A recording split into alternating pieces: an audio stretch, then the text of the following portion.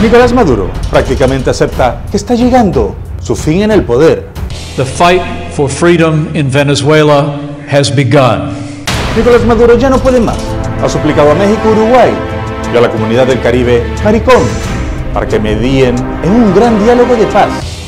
Y es que el llamado fue tan desesperado que algunas fuentes cercanas a Miraflores pensaron que pondría su cargo a la orden. Pero ¿cuál es la razón? La realidad económica es de espanto.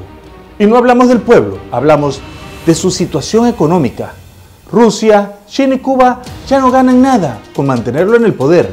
La estrategia de Estados Unidos comienza a dar frutos.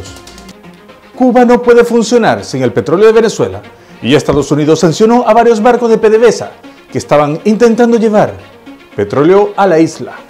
And today, we'll sanction 34 vessels owned or operated by PDVSA, as well as two additional companies that transport Venezuelan crude oil to Cuba. Cuba se tambalea y entra en crisis si no recibe el petróleo venezolano.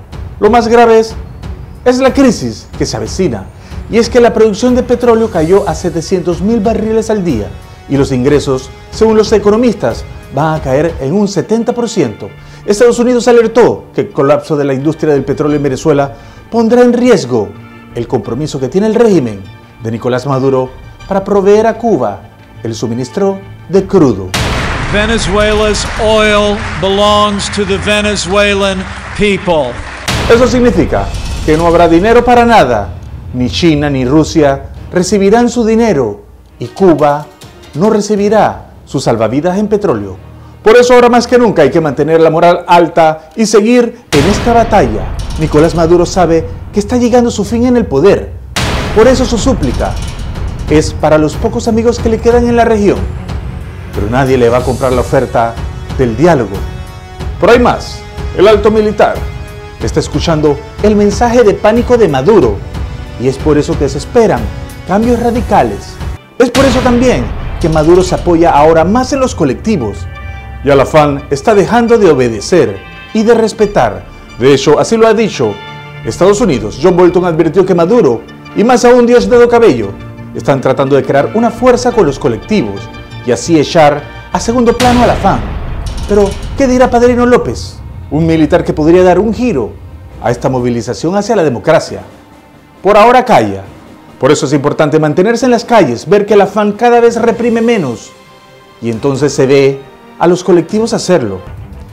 Si quiere ver una señal de que el régimen está llegando a su fin, vean que Maduro dijo que está buscando un diálogo de paz, una forma de ganar tiempo, de tratar de enfriar las calles. ¿Y qué opina Juan Guaidó de un diálogo? Reitera que solo participará en diálogos políticos si es para discutir la salida de Nicolás Maduro. Y es que hay que salir de Maduro para que el país retorne a la normalidad en un medio plazo de tiempo. El petróleo es la sangre que mantiene vivo el régimen de Maduro. Pero el petróleo es venezolano, no cubano. Así lo ha dicho Mike Pence. And Nicolas Maduro must go.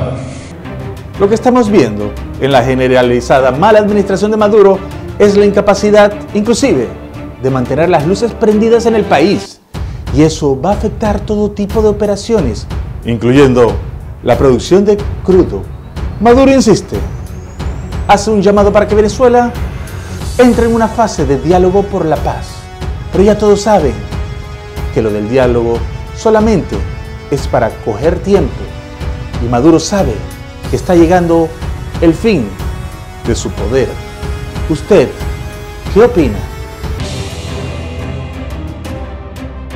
Déjanos tus comentarios y recuerda suscribirte a nuestro canal